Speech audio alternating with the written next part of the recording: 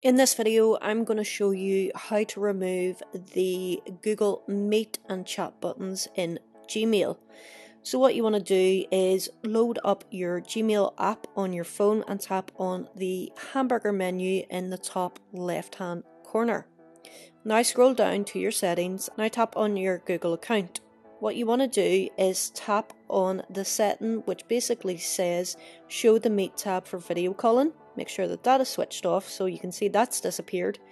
And now do the exact same by going into settings and finding the tab for chat. Turn that off and as you can see they have been completely removed from Gmail.